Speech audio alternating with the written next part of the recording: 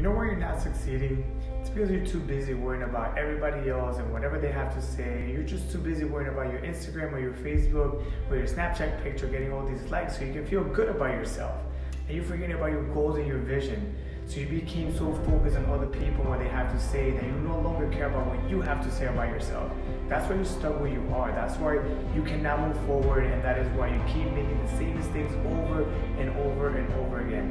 I know you're insecure about yourself and about who you are, and that's why you need to prove to everyone that you are good. But in reality, you're just afraid, like everybody else, to be alone. Be who you truly are and forget about what everybody else has to say about you. Be the be true to yourself no matter what everybody has to say. And it's because in the end, you cannot be everybody's best friend, and those who really care will be there for you.